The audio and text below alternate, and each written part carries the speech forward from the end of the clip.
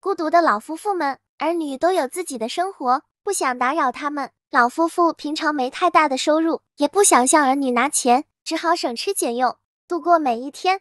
某天，他们在废耕地找到了一个药草，他们向附近村民打听了一下，原来这是喷壶的一条根，有保健身体的作用。他们开始用心栽培一条根，多年下来，终于长出完美的一条根，并且开始与产销班合作。产销一条根，各项产品让大家受惠，老夫妇也可以有收入，拥有正常的生活。